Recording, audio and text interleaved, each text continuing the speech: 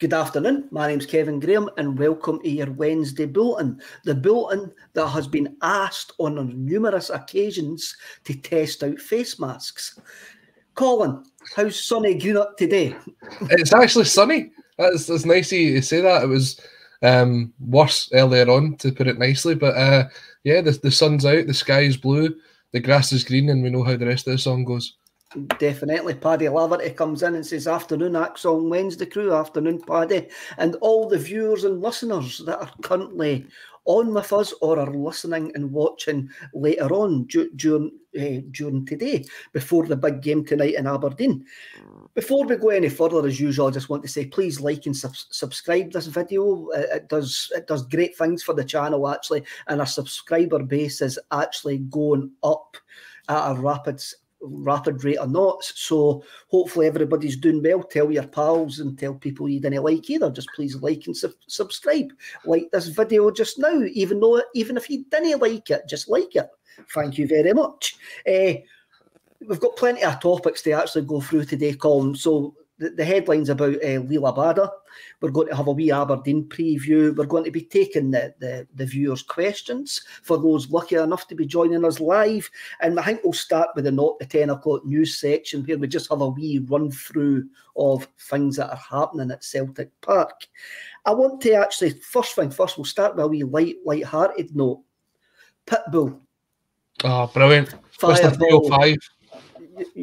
Josip Juranovic are we going to get the chance to actually see Mr. Worldwide at Celtic Park during the halftime draw?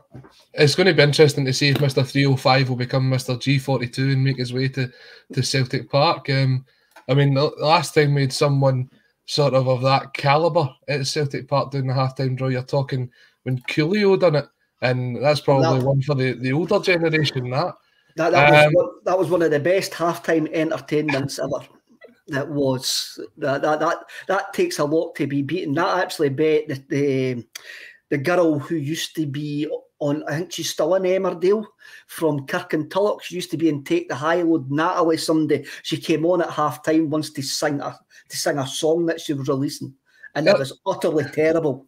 Uh, There's one for everybody that's listening. Who's the most famous person you remember doing a halftime draw? Get that in the chat whilst Kevin rambles on about Natalie Robb. Natalie Robb, there you go. State of mind comes and tells me it's Natalie Robb. I think she is in Emmerdale now. Know that I know, know that I watch Emmerdale, but I'm sure she's in Emmerdale. Stephen Coolio isn't on Pitbull's level and never was. I think, it, I think that depends on your age, mate. I think that really does depend on your age. Um, Aye, it's it's, fanta- it's fantastic that uh, Pitbull's actually picked up a song that I first heard last week on the way home from the Rangers game, and I couldn't get it out my head for days, weeks, and the hours, hours. It just every so often I just feel feel myself singing Josip Juranovic for no apparent reason on Zoom calls and team meetings and stuff like that. A, it's actually it's a big earworm, ain't it? Uh, I mean, I've um, that that song came out what 2015, 2016, um, and for anybody that's been to sort of somewhere like um, Turkey or one of the holiday kind of party destinations, you know, at night time when you're passing all the, the clubs and that, you'll you'll definitely hear a bit of Pitbull coming out of the, the pub. So um, I've got to say, Fireball was definitely one of Pitbull's better songs. Uh, up there with Give Me Everything and um, a couple others. Kev's going through his notebook here like that. I've probably never heard of some of these. um, no, it's great and it's catchy. That's we, we had this discussion um, with Anthony Haggerty a couple of weeks ago in the chat and we are talking about the Jota um, chant as well. The Jota one being to the, the tune of a, a kind of early 2000s classic from the Baltic area. Um, the Numa, also, Numa song. Yeah, the Numa Numa or Dragostea Din Tei or whatever it's called. Um, by O-Zone. By O-Zone. And I was saying that's up there with Chant of the Year, and Kevin and uh, Tony was saying he could have sat and wrote a better one in five minutes. It's not about the quality of the song, it's about the catchiness of it. You're saying that you're sitting singing it in team calls, people sitting singing it. Uh, Friday night, if you go past a Celtic pub, you'll see people strolling out just shouting Josip Juranovic. it's just the way it goes. It's there's a catchiness to it. Um, and definitely this year, I've got to admit, the fans not being in the stadium last year, as painful as it was, you can see them bouncing back in style uh, because the, the the chants that have come out this season have been second to none, uh, and the fact that someone like Pitbull, who you think maybe was massive five six years ago, he's still sitting there in the Billboard Top 100 with about seven different songs because he just features on everything. Um, sharing that, if you were to get him to Parkhead, I'm telling you, it'd be an absolute classic. It would be. It would. It would be up there with one of the strangest things ever. Like the time that the two characters from Disney came to actually promote the Descendants. I remember that. Yeah, yeah. And nobody in the stadium knew who they were unless you had daughters under ten. And I knew exactly who was it, Dove Cameron. I knew exactly who the two two people were. I went, oh, I ken them. So, you know, remember when we went to play Copenhagen a couple of years ago? And all the boys and girls that were lucky to go over to Copenhagen brought back um, Tsunami, and they played it before the second leg. Yes, stuff like that. It's just a is is better under the um, the Paradise uh, light show to have stuff like that instead of the sort of generic sort of studio music as it sounds if they're playing. Well, well, last well, last Wednesday, sorry, Colin, last Wednesday they went back to roll with it at the final whistle. Yep. And roll with it was brought back from Paris in 1995. That was the first time that the Celtic supporter had sung that. So, as you say, these things carry on um, from European adventures. Yeah, and you take a look at some of the, the best chants that have come out of the, the sort of Celtic fan base. There's either been classics from the 1980s and 90s like I want to be Edouard. That was a, a, very very simple one to go on. But even things like Toy Town, um, I'm trying to think, uh, Disco Land, things like that is all came from the sort of scene that the people have grown up with. You grew up with the likes of the, the Roses, the guys that are going to the games now and that are starting the chance. They grew up with the likes of the sort of DJ Hickeys and the, the Pitbulls. So this is what we're experiencing now, and I've got to admit, it's, it's great. It definitely brings a, a bit of energy to the crowd. And uh, you could see Josip Juranovic was very, very delighted when he walked past the fans when he was warming up on Sunday. Um, he was loving it. Pitbull's loving it. We're loving it. Celtic's loving it. It's good. It's a wee bit of attention uh, drawn to us in a positive light for a change. Definitely. Finn, Finn Fogel comes in W, WTF as Pitbull honestly stopped listening to new music in 1982. And Tony Cassidy comes in to actually tell us, Hiya, Tony, hope you're okay. He's only got 25.1 million followers on his social medias. But we've actually, I mean, that's that's un, un, unbelievable. I mean, we may as well speak about the fans in, in, in this section. Eh? You're talking about the, the, the corner that brings the atmosphere to the stadium. It was announced yesterday that the, the, the lower section of the North Curve, which is the Green Brigade section, will be closed for the Raith Rovers game uh, as a punishment. I'm going to use the Neil Lennon air quotes there. Uh, a, a, punishment for the absolutely phenomenal display that they had before the Rangers game last Wednesday night. Uh, everybody in this section has has been offered a full refund or a relocation, and what I want to say, Colin, is I've seen some a lot of hysterical takes on this, with them trying to lay the blame at the club, trying to for them to try and kill the feel good factor within the club over the last couple of weeks, where the health and safety hoops that Celtic had to jump through to actually get the standing section up and running was five years in the making. And we all know that there's guys in Glasgow City Council and, and uh, Strathclyde Police would love to shut that section down. And unfortunately, whether you like it or not, pyrotechnics, pyrotechnics or pyros are illegal in Scotland within, within the stadium. And the display, no matter how phenomenal it was, does put the safety certificate at risk. In saying that, though, Celtic's punishment for the one game closing is akin to saying to your pet dog, didn't eat any of my sausage supper, than sharing it with him anyway. It's not really a punishment, it's a wee slap on the wrists. But to, for people to actually say the club are trying to kill the feel good factor in this situation, I feel as well, wide of the mark. And I love putting a boot into the board too, but I think in this situation it's wide of the mark. It's almost a tick in the box exercise, Kevin, it? Um, it's just a, a sort of look. we're going to get into trouble for this. We don't want to give you into trouble for this. This is the best way that we've found in a, a scenario to work around it. I think the North Curve would rather Celtic stood up against it um, and actually backed them because I still think that the North Curve thinks that the, the club doesn't necessarily back them to that extent. Um, and I'm not speaking for any of them. It's just my opinion, the way I, I see it coming across and what I've read on social media. I, I do think that there is a there is a movement towards the use of pyrotechnics in Scottish football, and it has to be a safe move. Um, things like cold pyro. Uh, I don't know if you've ever seen that, Kev. Uh, that's the, te- the the runner test with that in Scandinavia. Is it? Yeah. Is it they do it in they do it in the MLS as well. Right. Um, where basically the, the you see the flame come out, you can run your hand across it, it won't burn you at all. There's no heat is emanated from it um, and could potentially do the exact same thing as what we saw um, on uh, last Wednesday night against that mob, um, and could bring the same sort of atmosphere. It was a great entrance to the stadium. Um, everybody, I, I mean, even the ones that were sort of always like to put the foot in. I never heard a single person complain about that display last Wednesday night. I don't know about yourself. No, I never heard anybody complain. I'm right above it, eh? And, uh, and like I couldn't see nothing for about 30 seconds, but I never complained. It, it, made when you actually saw it was actually the glow from the flares, uh, uh, like lighting up underneath the stadium roof was utterly phenomenal. It was another, it was utterly phenomenal. I loved it. I'm with you. I think I think we need to actually look forward here and like bring in stuff like cold pyros. Gary Oliver can why is mm-hmm. cold cold pyro not not involved? It's just not the Celtic support that used pyrotechnics and. Uh, uh, in football now. It's a thing in Scottish football, and I think the Scottish football authorities have got to start looking at safe ways of bringing in this atmosphere. Absolutely, and uh, as you say, when it comes to probably the big two in Scotland, that's when there starts to be complaints about it.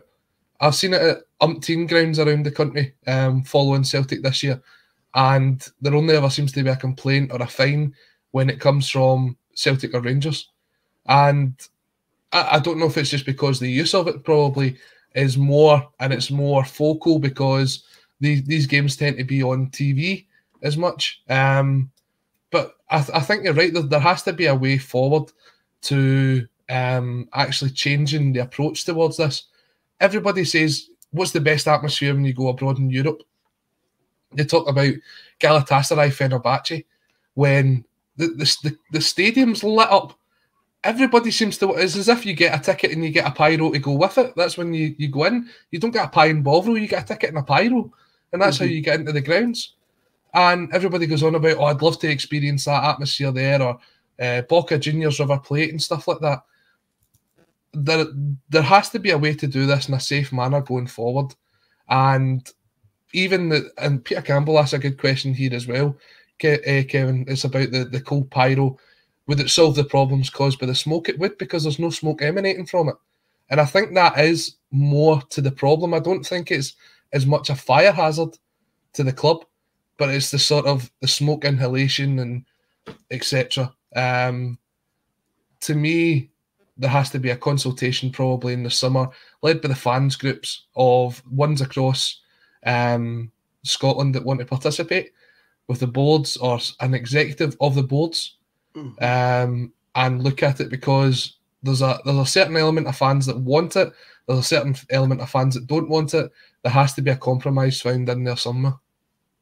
There has to be a com- compromise found. There, there, there is things all over Europe. When you were you, when you were talking about the cold pyro, it, it takes me back to a conversation that I had during lockdown with uh, an interview I done with the two Feyenoord SLOs who were at Celtic Park and they they take the they take the Feyenoord ultras on health and safety courses on how to use the pyrotechnics. So if there's any like problems or that, these guys know how to like defuse the situation and stuff like that. If you look, I think in the MLS, I know like organised pyro yeah. and folks score the goals and stuff like yeah. that. We can't we can't take the spontaneity away from it. I'm, I'm not into this. So there's somebody with a yellow coat comes out and lights a lights a flare in the front. Then like they write, I'll have to write a safety report about it. But there is a way that Scottish football has to has to go forward uh, with the, the change the change in fan behaviour, especially the young younger fans' behaviour, Colin. The Scottish football has to get on board with it. I mean, mm-hmm. I, I, think uh, the guys like the the boys section and, and, and Motherwell, and I think Hibs have got a wee section in that now. Eh? It is getting it is getting yeah. more. And, I think most teams do. More. I've, I've seen St Mirren have got their own section. Um, Hearts have always had a sort of that section to the, the right hand side of the goal as well. Um, so th- there is, and you'd rather the, the ultra fan base be spoken about in terms of displays and stuff like that, as opposed to the sort of fake fighting that you see outside of the grounds.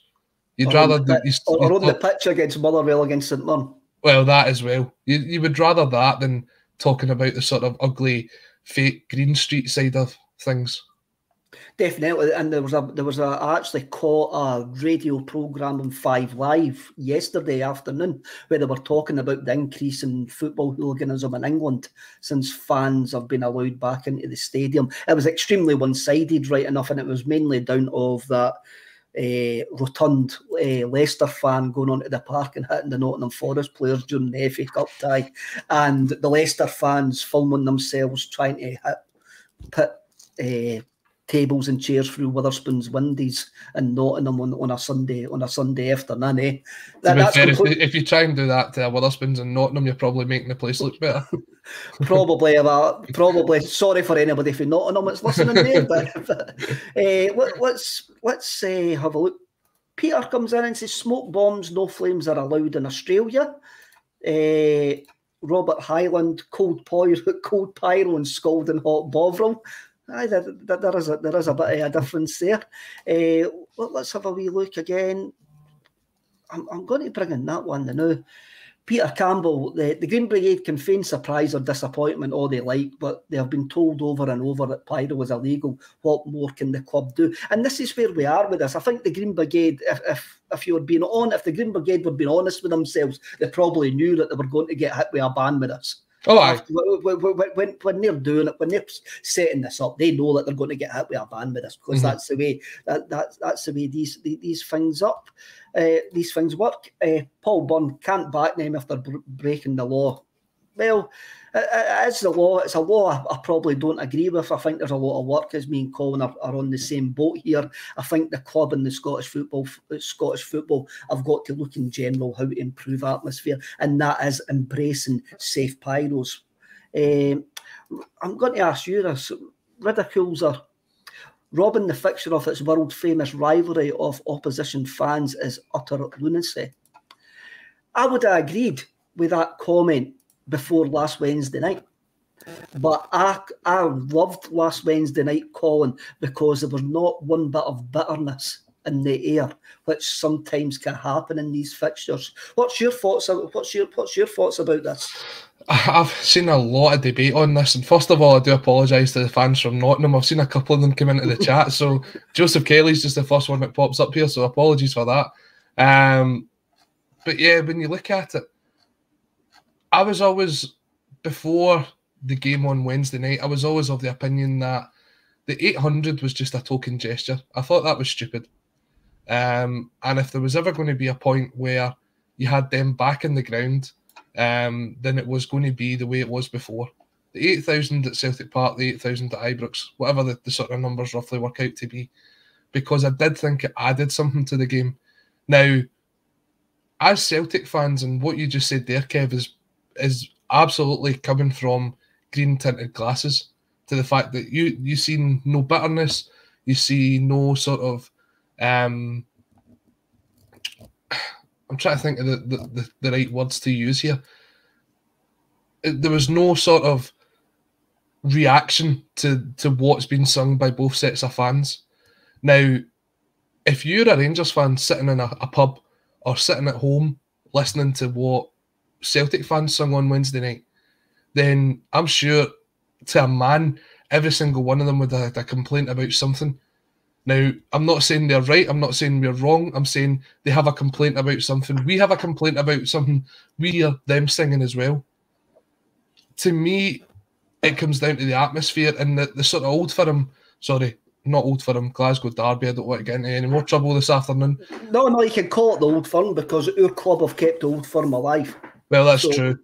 Um, when you, you you speak about that and you speak about the atmosphere of those games, it takes you back to going there and getting a result and being part of the minority. I remember being at Ibrox and Samaras Sunday and actually silencing the crowd when he takes it round McGregor and puts it into the back of the net. Yeah, you put up with the the 70, 80 minutes of absolute filth that you hear. But just actually putting them in their place is some feeling, it's some buzz. Watching them leave when you're three or four nothing up. I mean, I'm, I picture how many would have left at three nothing down at half time on Wednesday night. Things like that. I think this it's either going to be you look at going back to the way it was or doing what we had on Wednesday night. I think it takes a bit of a sting out of it. I do think it's a massive sort of advantage to the home side. It's, it's a difficult one. I, I grew up on seeing 8,000 there, and people are saying, well, it's you've got sectarian, you've got racist shouting, singing. It's almost as if that game's is part of that game. And it's not the right thing to say, but it is part of that game. And see when you go to Celtic Park, eh, see when you go to Hampden and it's 50-50, that sometimes, although the atmosphere at Hampden is terrible, that can sometimes be some of the best moments as you see the, the crowds emptying after you've won the game and knowing that you were the victorious ones there. I under, understand where you are completely coming from there, uh, Colin. I mean, you're saying you, you grew up on these games with there being 8,000 Rangers fans there. I started going to these games when there was 18,000 Rangers fans there, which is which is a phenomenal figure when you actually think about it now. But as Brown Warrior comes in and tells us that their pet their pettiness has created this perfect storm. You reap what you sow. That's and, what it comes back down to, isn't it? And, and that that's exactly what it is. They could not handle seven and a half thousand Celtic fans having a party in the Broomloan. No, they could they could not handle that. And those at the top of the staircase listened to the more fundamentalist element in their support and got us getting 800 tickets. For me, this will only change if Sky tell it to change. If you say it becomes too much of a massive advantage to the home to the home team, then Sky will tell it to change, and that's only way that's only way it will change in the future, in my opinion. I mean, I've got to admit, Wednesday night was a fantastic atmosphere. It was a fantastic atmosphere, and I definitely think that it did it did add something to our side of the game. Did it take anything off of them? If it did, then that was a bonus, but we were always going to beat them on the park as well with the way that we played football. I, I, I don't know. I, I am absolutely torn on this because it is the first time that we've been in this situation. I, I, I could maybe turn around to you in 18 months' time when we've had another couple of these and say, you know what, Kev, I was wrong. Mm-hmm. I, I, I want it to stay the way it is. But after that, it just something just wasn't quite right. Ah, well, I, I, really, really enjoyed it, and I didn't miss them one little it. bit. I, I, I, I, didn't miss them one little bit. I just thought it was a great question. Uh, Will McMullen comes in and says the atmosphere was great without Ranger, without the Rangers fans. Uh, Aidan Mooney comes in. Ollie Miller's halftime draw, I recall. He was also on the same flight as me up to Glasgow that morning from Gatwick. uh, John Curry, how you? I'm Nottingham. Uh, to balance things up, Martin O'Neill's Celtic played Leicester in a, in a friendly game in 2000 and 2001. And I must admit, it was one of the worst trips I've ever been on. And to balance things up, Nottingham, uh, sorry, Leicester was not very nice either. So So anybody for Leicester coming at me as well, eh? But to balance things up, Leicester wasn't a very nice place any, eh, either that day. Uh, right, European squad. In Hatate, O'Riley, Maeda, out, Shaw, Urhoghide and Soro. Uh, Gucci misses out altogether despite him being uh, back, back in training. No really surprises there apart from maybe Gucci, eh? I, I mean, there's always going to have to be one that misses out, and with the way that the three that have already started and that are included, it, it, would be very difficult to choose Gucci over one of the three of them. Um, Maeda, I thought, put in a very good shift on Sunday at, at Fir Park and scored a, an absolute Carlton Cole of a goal. Um, he's he's one that you're looking at as a backup striker or a, a left winger. So he goes into the squad. O'Riley looks as if we've managed to just take um, Tom Rogic, add a bit of pace and clone him. And he's came out English and he's been a fantastic signing. Uh, and Hatate, Hatate's the second coming for me. So there was no way that he wasn't getting into that uh, European squad. And the players that have missed out, Soro, I think there's still a good chance that he might leave the club.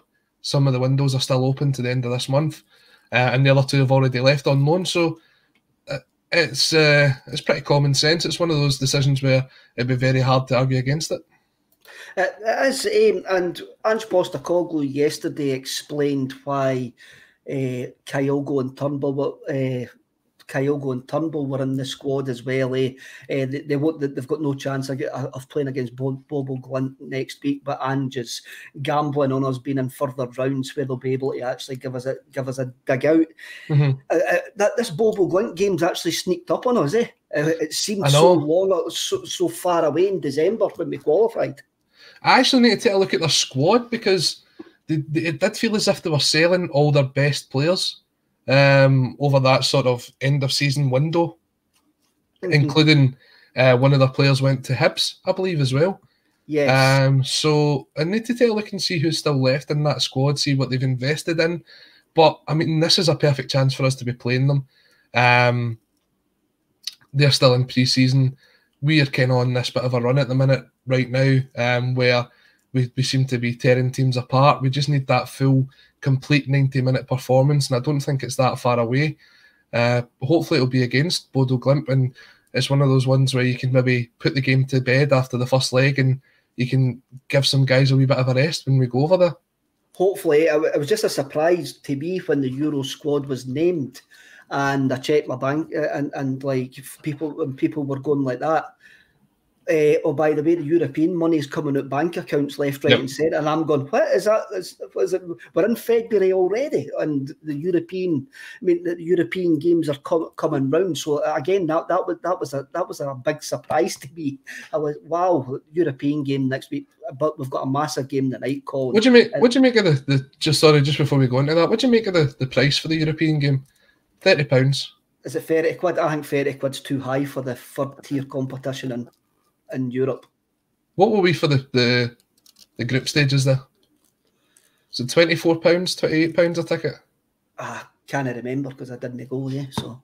Ah, good point. Well, um, I think it was roughly somewhere between 24, 28. Someone back me up in the chat. Um, it's you're dropping down a competition. I don't know what the ticket sales are currently sitting at, but you just think that maybe if they dropped it down to twenty pounds, which is what you've been charged for Raith Rovers um, next Sunday as well. Could could easily fill it out. I know that the tickets are now on general sale, so to me it doesn't sound as if every season ticket holders picked up their option. It, it, it doesn't sound like that, no. And and again, it's it's a period just after Christmas. People are still trying to pick up on that. I just thought thirty pound is, is is a bit expensive for the third uh, is, is, a, is a bit is a bit expensive for for the third, third tier competition in Europe. Uh, I just do. I, the club the club will probably go will can probably give me figures to back up why they've gave it as that figure and that mm-hmm. that's fair play. But I think I would rather have sixty thousand at Celtic Park. Um, oh, absolutely, get, getting the team through that than some of them going, I can't, I can't afford to pay the 30 quid to go to that. And if you're taking your son or your daughter, then that's 49 pound. Then you've got everything on top of that for a midweek game. Uh, it's, it's, it's, quite a lot of money, I think, in this day and age with everything else that's actually happening in, in the world at this precise moment in time.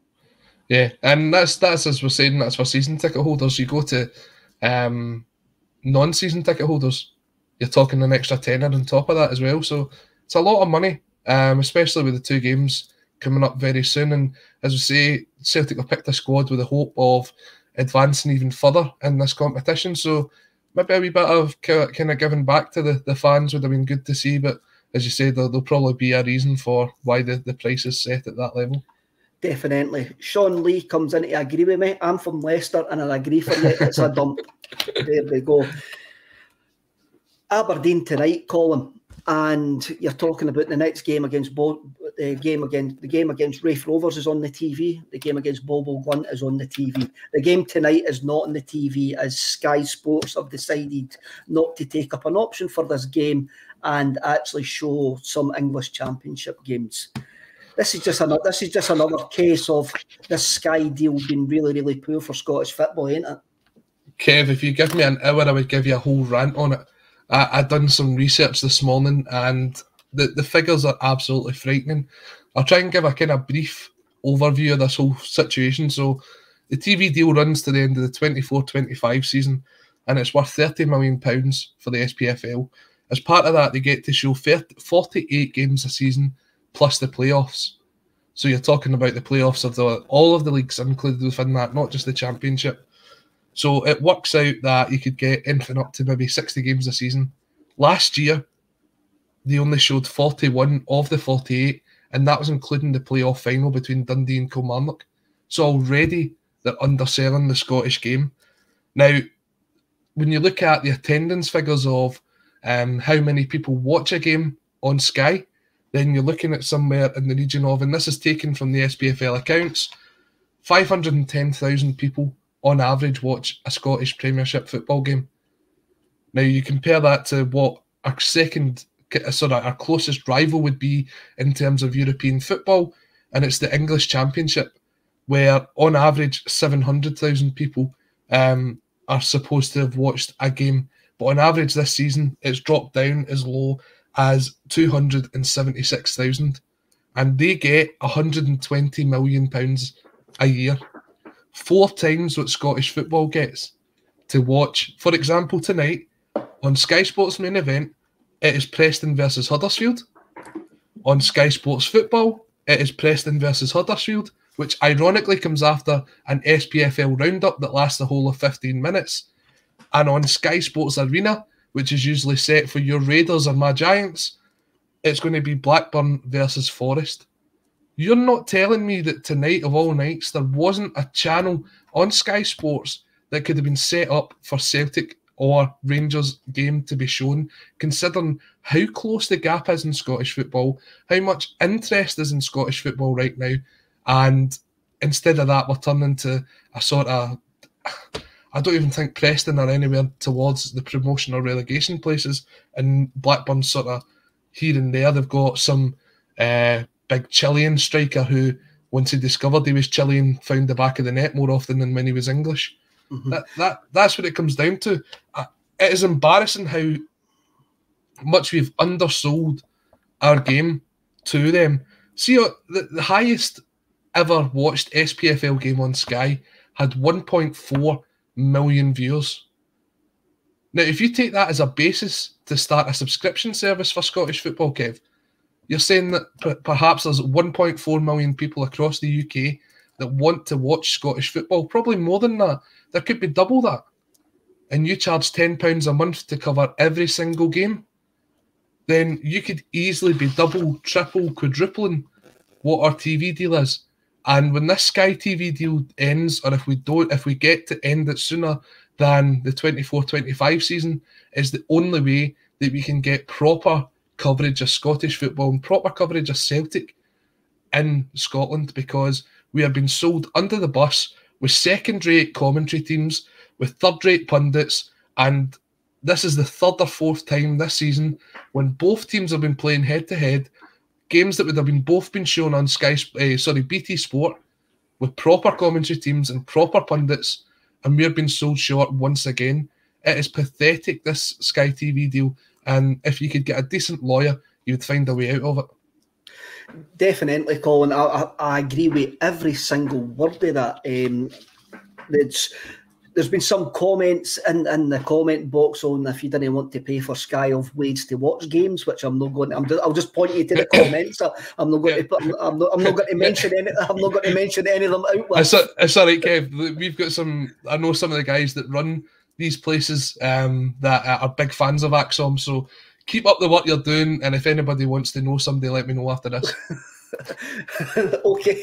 uh, Brian Walsh, PPV is the way to go for Scottish football. Thirteen ninety nine tonight. Not bad for a decent product. Happier to pay this directly to SPFL clubs rather than Sky Sports, especially if it guarantees seeing games. I think some of the Celtic fans would actually say there, Brian, is this is the fourth time that we've had to pay clubs direct this season. I'm calling. Uh, I, I, was saying, but oh, sorry, I thought you were calling me Brian. Brian's not here this week, Kev. Come on. uh, no, no, Brian was a commentator. I, said, said, I, th- I think I was, I was actually addressing, I was actually addressing the commenter there. I, have been taking the fourth wall. You've got ah, the fourth wall, Kev. That's yes. it. I'm pushing things forward, mate. I'm taking this hosting to the next generation. Loving uh, it. So that's why I would say a lot of Celtic fans would say, well, this is thirteen ninety nine that I've already paid to St Mirren, Ross County. Um, I think, and another couple of teams, and it's something uh, it's, it's, something that Scottish football needs to actually have a look at. But understand understand that point uh, completely. MB comes in, whoever negotiated the Sky deal should be sacked. Well, it's probably Neil Doncaster. Uh, and Brown Warrior, BT had a great platform for Scottish football. They did it right, in my, my opinion. I, I think uh, we're all missing BT, ain't we? Oh, desperately. And Kev, see those figures we were touching on there? That's just the UK. Mm-hmm. We're now at a, a, point where we've got an Australian manager, we've got a Japanese dream team of players, we've got players that are connecting with uh, teams or, or have connections with teams all over the world. Cameron Carter Vickers with the American connection. Do you know in America they've got the deal with CBS and Paramount Plus that shows 85 Scottish Premiership games a season? and it cost them a couple of hundred pounds, a, a couple of hundred thousand pounds. In total, the, the whole worldwide TV deal for the SPFL goes for 2.1 million pounds a year, and that's to over 150 countries worldwide. That is pathetic how much we are underselling it. Patrick Dillon comes in to say that he'll be watching it on beIN Sports. beIN Sports are paid less than 1% of what Sky have paid, and you can guarantee that the coverage will be 100 times better even if it is Sky's Richard Keys sitting in a studio talking about it. A, lot, a, a lot of these cha- cha- channels you actually get your beIN Sports, whatever, however way you get to watch these channels, it's usually the Sky commentary you get anyway. Exactly. So it's a Sky production you actually get and these these guys just use just take it on their feeds. I found it funny last week when everybody was watching Daizen Maeda if he was going to come on for Japan, that at half time there was an advert for Celtic against Motherwell. Exactly. That that is it. So if we're talking about there's 1.4 million people in the UK that want to watch Scottish football, how many more tens of thousands of millions even potentially across the world would pay a small subscription fee, Kev, to watch Daizen Maeda, to watch Kyogo Furuhashi, to watch Cameron Carter Vickers, to watch Ahmed Diallo, to watch uh, James Sands, to watch uh, guys that are coming into Scottish football that come with that reputation. Scottish football's probably at the, the stage now where perhaps maybe just before Steven Gerrard's departure, it's never been more lucrative for a marketer. It was a marketer's dream to go out there and sell Scottish football and we sold it for two million pounds worldwide. It's pathetic. Uh, it's pathetic. Uh, I'll just go through some of the comments here. Uh, it's quite Martin Bickett, Celtic TV for me and Oz. Hope, hope you're doing well, Martin. Uh, Pat O comes in, backs up what you're saying, Colin. The Jap- Japan market for selling Celtic games now is massive. Um. Shane Donovan because Sky not broadcast, we don't get it here in Australia. Here, though, we can get every round of game live of other codes. Um, a lot of Australians now tune into ACSOM. Welcome to them all. Um, and Peter, again, I'm only saying Peter because I can't. I didn't want to butcher your second name, mate. Eh? So the future is the future is selling the rights to a streaming service where every match is shown live and be paid on demand. That is a system in Australia for the A League. Amazon Prime are getting involved with the English Premier League football as well. They're, all, they're already involved in tennis. I'm sure they're involved in uh, loads of other sports as well. Colin, yeah, golf and stuff like that as well. Yep. Something that is going to become more and more an option. Eh? Absolutely. And I know that uh, Zone or D A Z N, however you pronounce it, they're currently in negotiations with BT Sport to take over their television rights because BT Sport have sort of went in hard on Sky Sports and sort of living to pay the punishment at the minute because they can't quite keep up. You've seen a lot of stuff that was previously on BT Sport making its way back to Sky or even going on to the likes of Premier. And I think actually when you look at it, pound for pound, Premier is probably one of the best subscription services that's out there. Pain in the backside to try and cancel it. But in terms of value for what you get for your £10 a month, there's a lot of good football out there. Um, streaming is the way forward. It is absolutely the way forward. You take a look at all of these streaming services that are over here. I mean, a couple of years ago, you maybe only had Amazon Prime and Netflix.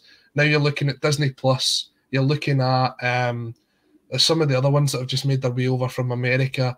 Uh, you've got the zone, as I was just mentioning there. You've even got things like Peacock's another another streaming service, is it not? Yeah, you've got Par- Paramount Plus that we mentioned as well, and um, there's there's so many of them out there.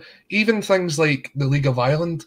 The League of Ireland last season put out a deal where basically it cost 120 euros for half of the season, and you could tune in and watch any of those games, any of them, because you couldn't get the fans into the stadium. That's a far better approach than what we did here in Scotland, where the, the prices ranged from twenty pounds or twenty five pounds at Livingston for a pay per view to nine ninety nine for some games, and we, we can get into the debate. And I know there was a really good debate um, over the last couple of days on um, teams being sort of locking away fans out of grounds to give themselves a, a home advantage. But let's be honest here. I mean, the pay per view price compared to the price of a ticket, it just doesn't make any sense. If you if you're going to spend twenty five pounds, you want to get into the ground. Mm. If you're spending a tenner, there's a bit that there's something that you're like, okay, fair enough, I accept that.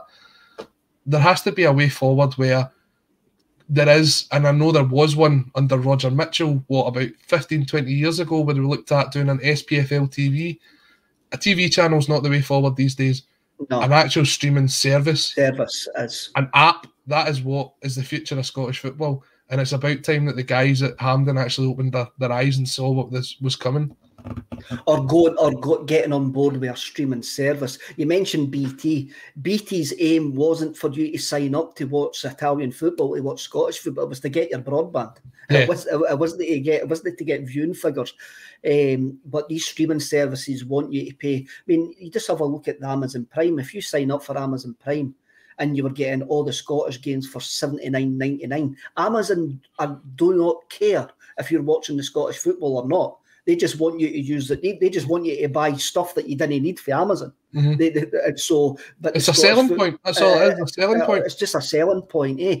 So that, that, that is the future. But once again, tonight we're going to be struggling uh, in this country to find ways to watch this game legally. But, here, but here's the thing, Kevin. We'll, we'll go in and talk about the game in a second, right? Why isn't the game on TV tonight? There is red button options. There is a camera crew that's going to be there. There's a commentary team that's going to be there. What is stopping Sky from showing this game tonight? Nothing. Absolutely nothing. If anybody from Sky wants to come and wants wants to come and answer that, uh, just put their put their thoughts in the comments. Uh, right, we, we may as well talk about the game tonight, but I'll go through a couple of, of things first. Jay Davison talking about ticket prices, spent over a hundred pound for the next three home games. That that, that is a lot of money in, in today and for today. Uh, John Francis, twenty five pound is a fair price for the conference underwater cabbage salesman, 20 to 25 pound. And David Kelly does actually make a good point. I think that I think he's right here about the group section pricing over the last mm-hmm. four or five years. Yeah.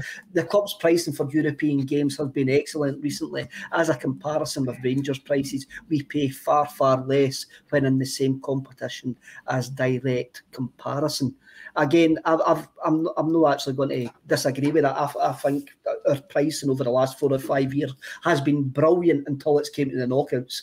Then, yeah. then the prices have took a massive, massive hike. Chris Walski, proud Aussie Celt here. Ange is killing it. Colin, you ken who else is killing it? The man who the tagline that we actually have, the incredible rise of Liel Abada. Now, Liel Abada's played 38 games for us this season. Uh, he scored 14 goals and had 11 assists. But for when we've returned for the winter breaks, he's, he's took it to another level. He has took it to another level. He's got four goals since the winter break. He's had three assists since the winter break. He's had one last minute winner since the winter break, and he had one full back meltdown since the, since the winter break as well. For me, he's going to be our young player of the year. Absolutely. And he's up there for player of the year as well, Kev. There's nothing stopping him getting both awards if he keeps going at the rate he's going. Um, 14 goals and 11 assists. I watched them coming out after he, I take it they, they had their shower and stuff because it was about 10, 15 minutes into the second half when both him and uh, who else came off at half time on Sunday? Um, Hatate. Hatate walked back to the bench because they had to come out from behind the stand, which is another ridiculous thing. Um, it was one thing that I d- I didn't think that the Motherwell CEO covered why we're still in that sort of red zone area with that, um, when every other team seems to have avoided it. Um, Abada looked absolutely devastated not to be playing that second half. And who can blame him? He had a goal and two assists. He was absolutely on fire.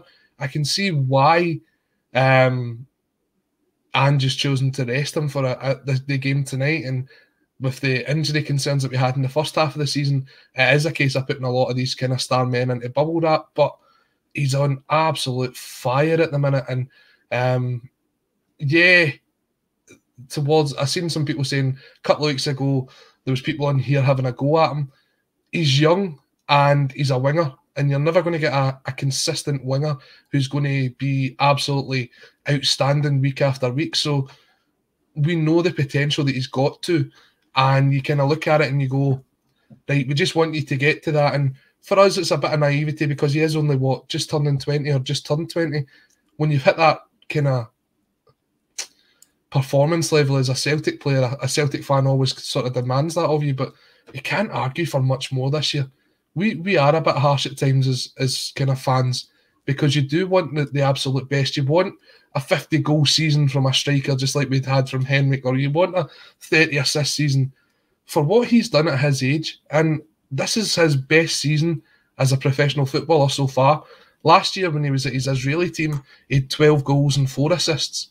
Mm-hmm. He's just getting better and better and better. And it's almost a sort of, right, you've done that, go and do it again, go and do it again, go and do it again. And I, I hope he does it again tonight. And he's got, he does have our full backing we will say to players, you could do better, you couldn't do better. We've never kicked a professional football, but we're here as fans to give our viewpoint.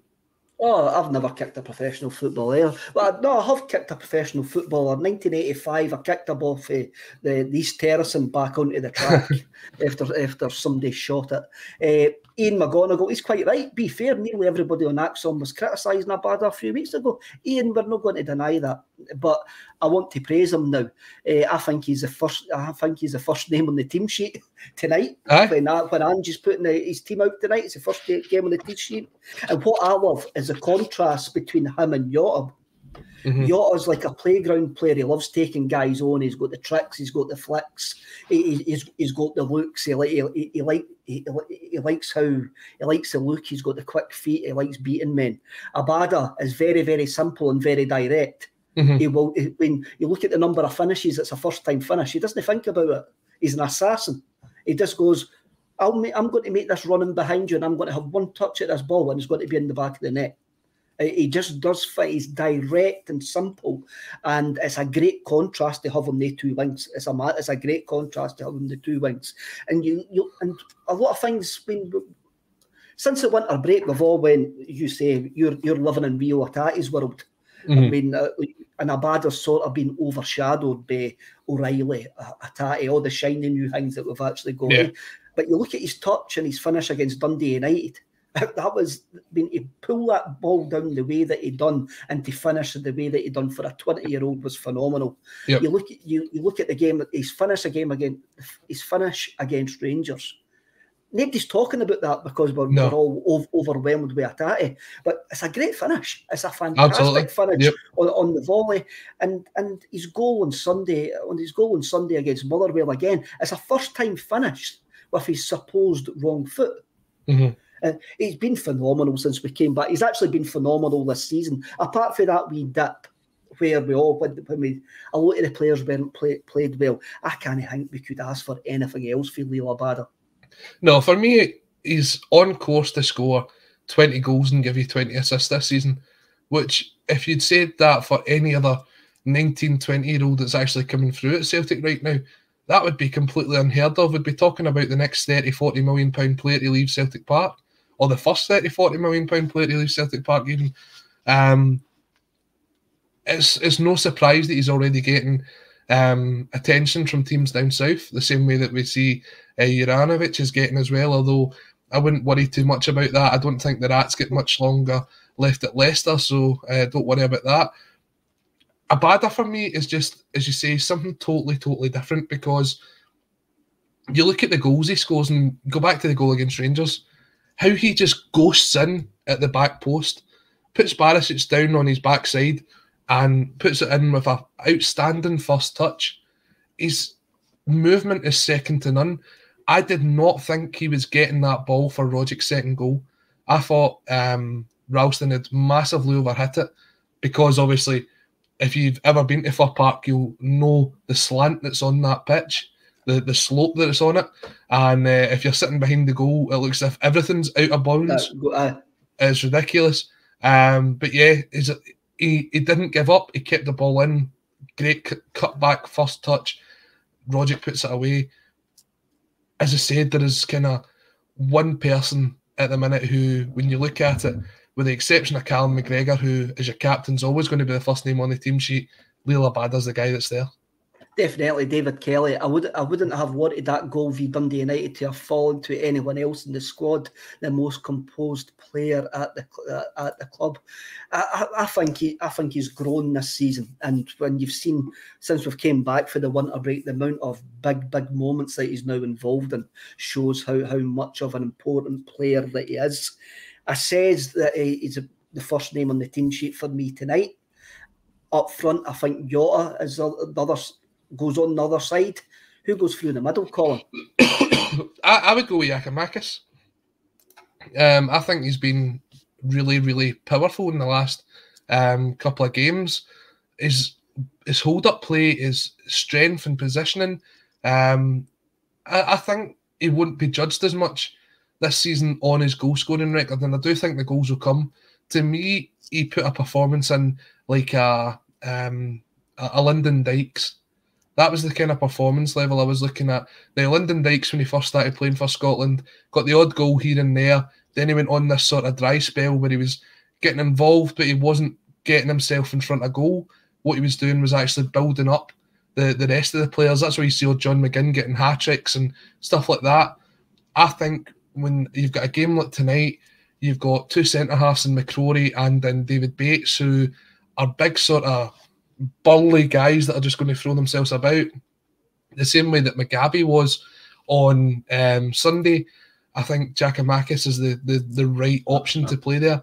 He is leaving the space in behind for both Abada and whoever plays on the left. I would go with Jota um, to get in behind, and it's leaving so much space in front of that 18 yard box for guys like Hatate, guys like Rogic to get the shot off on target.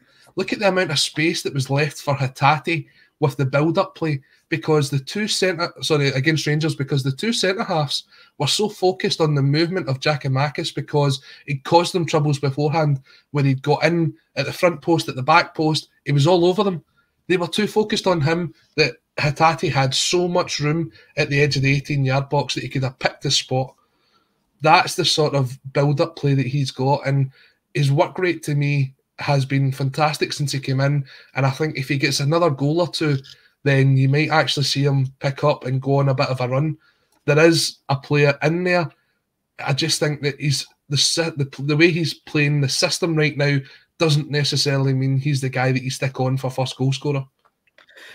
Well, I think on, on Saturday, on, on Sunday against Motherwell, he actually gave the Motherwell back line a tough time.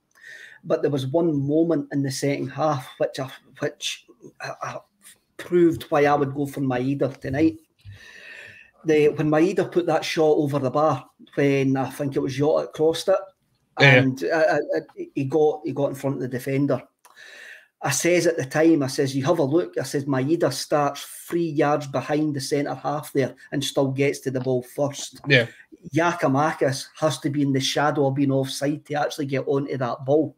Mm-hmm. But under un, understand what you actually say there. He, he, he, he put in a great shift uh, which is a prerequisite for any Celtics striker and an Ange Postecoglou side. You have to put in a shift, uh, and he, he, loves he loves a physical tussle at times. He, he was he was running a bit like Wreck It Ralph. That's what that's sometimes that's what he looks like up there. He just he, he just he just charges into people and he can hold the ball up and that.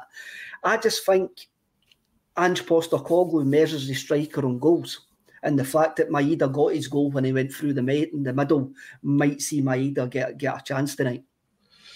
I, I, I can understand the way that you're you're looking at it. Um, as I said, that was a, an absolute Carlton Cole of a finish. Um, for anybody that remembers Carlton Cole's goal up at Inverness, he did really get beyond um, the strikers, but I feel as if that came from the fact that they were absolutely knackered, Kev see when you look at it in the second half of that game on Sunday, we, we should have scored another three or four at the very, oh, was, very least, right? It was, it was brilliant. If Sunday was, um, I, was, I was just shouting at the telly every five. Oh, just stop it! Just stop doing this. This is too much for me to actually take in. But this, at one point, we broke on the counter and we had four on. I think it was four on three. And I'm going, this team's getting beat 3 0. How are we still managing to get four and three here? It was almost as if we'd just sort of they we tired them out that much that it took so long for them to get back, and we just couldn't capitalize on it. Um, uh, and I think at that point, if you've got Maeda to come off the bench to be running in behind, you take a look at the game up at um, earlier on in the season. You had Adam Montgomery breaking down what was a very tired Aberdeen defence to get the ball across for Jota to score the winner. I do think that the legs will be taken out of them tonight because they'll be on the back foot, hopefully, from the word go. It's the way Celtic's been playing. They come out and they throw everything in the kitchen sink at teams for the first 25 minutes, and then, according to other managers in the league, then that's when their teams take over and dominate. Yet to see that. Um, but that's when I think these teams start to tire because they're playing two and three games a week right now.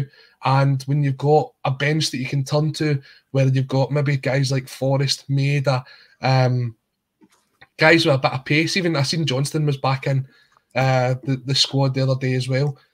Getting in behind, that's where Maeda got a lot of his success in the second half. In the 1st mm-hmm. half, he just had to put in a very good shift going down that left hand side. Um, so I, I, don't know for me if Maeda would be the one to kind of lead the line up there, but uh, yeah, put it this way Aberdeen will not like to face either one of the two definitely. I must admit, I'm tired watching an Ange Postecoglou Celtic. The knacker me trying to keep up with them. Never mind trying to chase, trying to chase them. Jim Hannaway, uh, Giakoumakis for him tonight. Uh, Jay Davison, Gio is a nightmare for defenders and very intimidating. Giacomak- MB Giakoumakis is a great option for these type of games, and John Cure.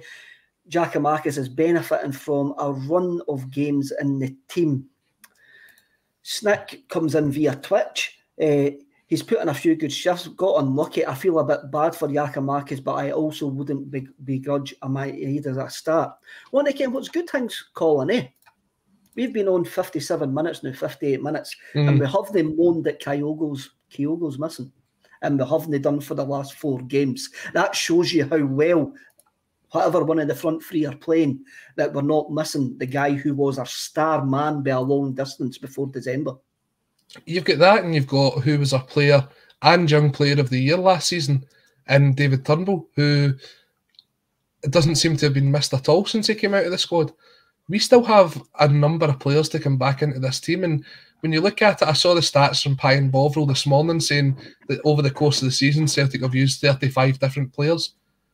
Now, I'd imagine quite a few of them have now left the club. But I still think that we have a, a relatively compact squad of players that we can turn to. And you saw that sort of towards sort of November, December time when you looked at the bench and you're going, there's not really a lot of players that can come on and change this game here. But now that there's more and more coming back into it, I saw um, Ewan Murray complain at the weekend because he looked at the five subs that Celtic were able to bring on. That was a, a thing that was voted through by the league. That's the first time we've ever had five players that could have come on and changed the game. And as we keep going here, on the course for four trophies because we are we're, we're pushing. Well, I say four. We've already got one in the back pocket. We've got three trophies that we're going for here in the second half of the season. Having as many players as we can turn to as possible is a great thing. And when Kyogo, when Turnbull, when Dembele come back in, even when Jullien, who'll probably start against Raith Rovers, in my opinion, when these guys are available for selection, it pushes the guys that's playing to play to the top of their game because they know that if they don't play well, they're out and somebody else is in. And that's something we've not had at Celtic for a long, long time. We haven't had that for a long, long time. And, and it goes back to the Brendan Rodgers adage that basically the, the finishing 11 is just as important as the starting 11. And that's the first time we've had that in about four or five seasons, Colin. Colin, this has been absolutely amazing today. That's the hour flew by already. Uh, we've covered quite a lot of subjects you got a prediction for the night? Uh, there's a, there's a lot of confidence in there's a lot of confidence in the comments, but Brian Walsh, I'm going to bring this in. I'm slightly concerned by some of the overconfidence ahead of this visit to Pittodrie tonight. Talking five or sixes is just complacency. I expect a tough game as ever up there. But before I make my prediction, I went to the toilet at half time against Motherwell, and a boy came in and shouted, "Are we just going to beat every team three 0 at half time?" That's the sort of spirit of the Celtic fans at the minute, and it's, it's a a good one to have. Um, notoriously a tough place to go. Aberdeen will definitely up their game despite how poor they've been recently. I spoke about this with the red tinted glasses boys. Um, check that one out as well. I'm going to go with 3 1 tonight. 3 1 Celtic tonight. I'm, I'm, i think we're going to have a victory, and I think it'll be a victory to nil. I think we might be quite comfortable. But again, I just hope we get the free flowing football that that, exactly. we've been, that, that we've been blessed with over over the last over the last seven days, and we've got the squad to do it now, which is something that we couldn't actually say in September, October, and November lads, thanks for watching. Thanks for listening later on. Uh, if you if you're listening on catch up, please, uh, Paul will be back with back with a match day half an hour before for kick off, and just please subscribe and like the channel. We've got everything that you need in football, music, and culture, and just just just subscribe and, and get on with us. I'm going to bring up one last comment before I go. Curtains are closing. Do Amazon sell cold pyro? Asking for a friend. I'm sure Amazon sell everything curtains. So thanks very much, everybody.